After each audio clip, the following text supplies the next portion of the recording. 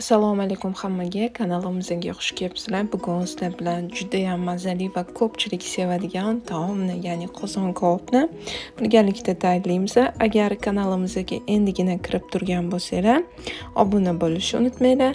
Bo'lmasam boshladik. Demak birinchi navbatda bizga qo'y go'shti kerak bo'ladi.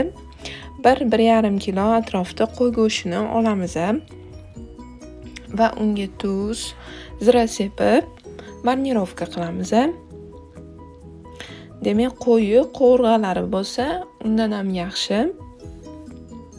Aynan qo'rg'adan judayam mazali chiqadi.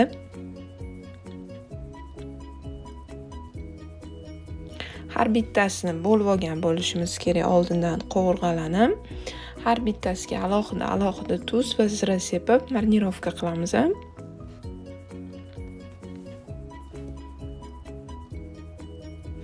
endi bularni bitta idishga solib xolodilnikka olib qo'yishimiz kerak bo'ladi. Xolodilnikda o'zi aslida qancha ko'p tursa shuncha yaxshi lekin bizani go'shtimiz taxminan ikki ikki yarim soat xolodilnikda turdi.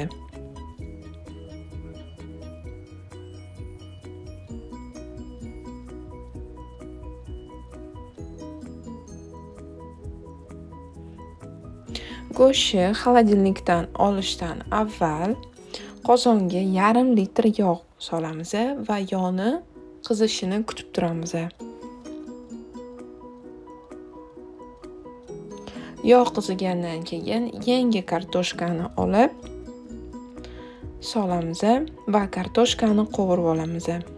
Hozir yangi kartoshka chiqqan va o'shaning uchun juda mazali chiqadi.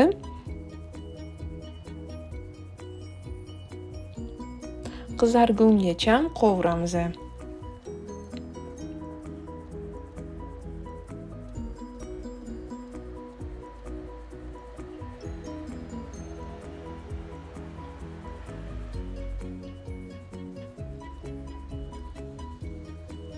kartoshka rangini o'zgartirib qizarish boshlaydi qizargandan keyin buni idishga solib bir chetga olib turamiz.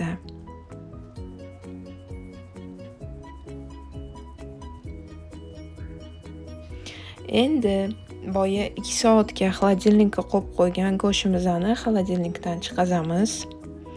Va buni ham qozonga solib qovurib olamiz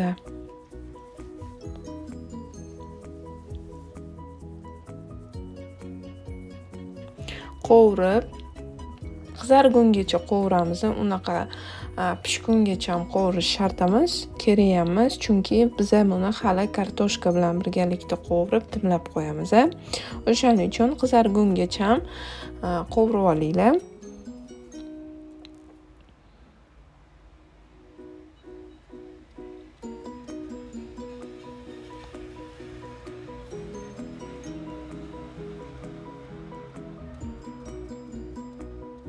hammasini bittalab qovurib olamiz idishga solib turamiz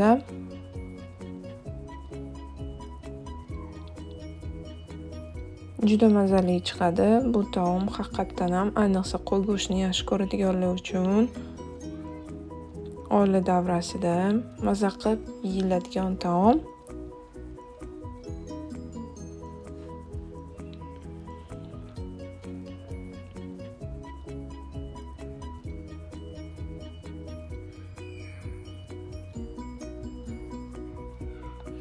Endi go'shtlarni qovurib bo'lganimizdan keyin bizga piyoz kerak bo'ladi. Piyozni solamiz oldindan to'ralgan va piyozni ham qovurib olamiz bu orada ketadigan barcha mahsulotlarni videoni tagiga yozib qoldiraman. Unaqa ko'p narsa ketmaydi ko'rib turganinglardek to'rtta beshta mahsulotdan tayyor bo'ladigan taom. Piyoz qizarish boshlagandan keyin go'shtlarimizni pishirib boya qovurib olgan go'shtimizni solib chiqamiz. Ora orada tagini kovlab turamiz.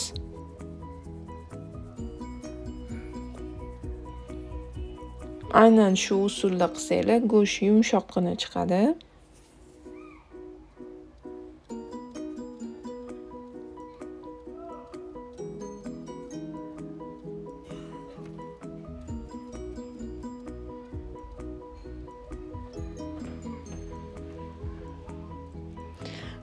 Ustiga zira va tuz sepamiz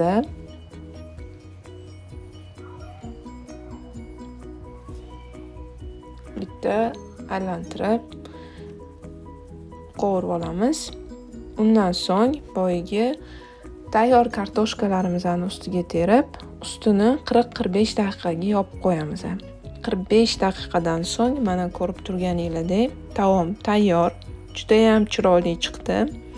Go'shtlari xilpillab pishgan. Haqiqatdan ham judayam mazali. Bemalol oila davrasida tayyorlasanglar bo'ladi. Bu orada go'shtni yo ko'paytirib yo kamaytirib kartoshkani ham ko'paytirib kamaytirib solsanglar bo'ladi. O'ylaymizki bu videomiz sizlarga yoqadi. Endi yana bitta narsa hammani gazi har xil bo'lgani uchun o'rtacha qirq besh daqiqada pishadi. Ora orada tekshirib turinglar. Ustini oldindan to'g'ralgan piyoz bilan bezatib dasturxonga tortamiz hammaga yoqimli ishtaha. Agar kanalimizga endigina kirib turgan bo'lsanglar obuna bo'lishni unutmanglar. E'tiboringlar uchun rahmat. Tez kunlarda yana yangi videolarda ko'rishguncha.